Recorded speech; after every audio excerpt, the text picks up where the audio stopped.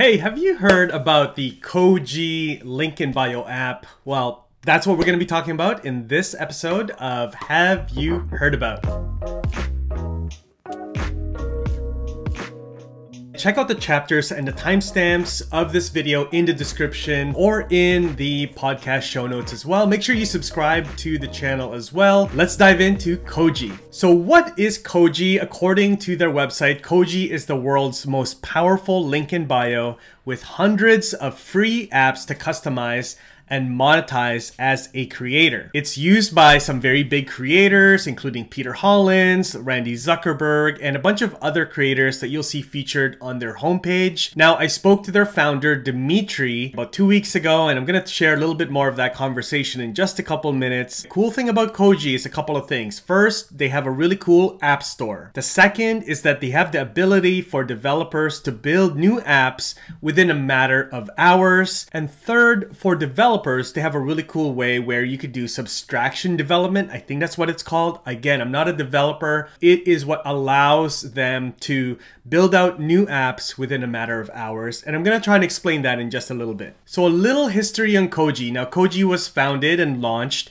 in March of 2021, right in the middle of the pandemic. They have raised $36 million in venture capital so far as of this recording, and Koji was founded by a gentleman named Dimitri Shapiro. It was really cool talking to him. He was showing me his backyard, just palm trees, very cool, you know, vibe. And he has lots of experience in the tech space. He was a group product manager at Google for a little bit. He was also the CTO at MySpace between 2010 and 2011 and just a bunch of other experiences with companies in the tech space, so he is no stranger to this game. Now, according to LinkedIn, Koji currently has 28 employees. Like I said, they're based in San Diego, and their parent company is GoMeta.io. Now, as far as setup and install, it's really easy to set up. I created my Koji page in just a matter of about 30 minutes, and that includes a lot of just browsing around, checking out the different apps that are available. And so for you, you could probably set something up like this quite easily for your link in bio if you want to. Now, who is Koji for? Now, Koji is really for any creator looking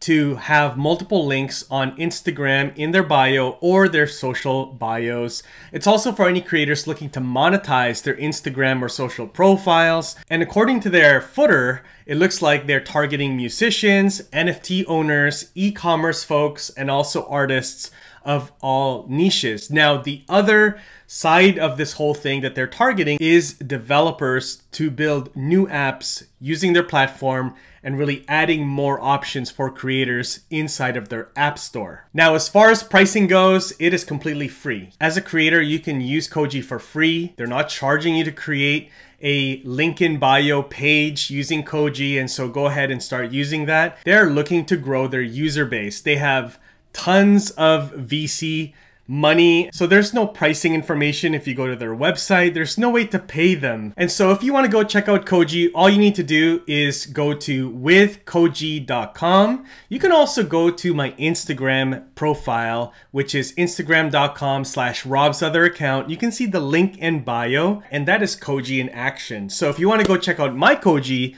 page, go to withkoji.com slash at R Balasabas, and you can check out my Koji page and see how that looks. And then go ahead and create your own. Leave a comment with your Koji page in the video on YouTube or send me a message on LinkedIn or Twitter. I'd love to check out your Koji page and what you have created on Koji. I think it's a fantastic tool. And in the meantime, thanks again for watching this video. Make sure you are subscribed, leave a comment, questions, and I'll see you in the next one. Take care.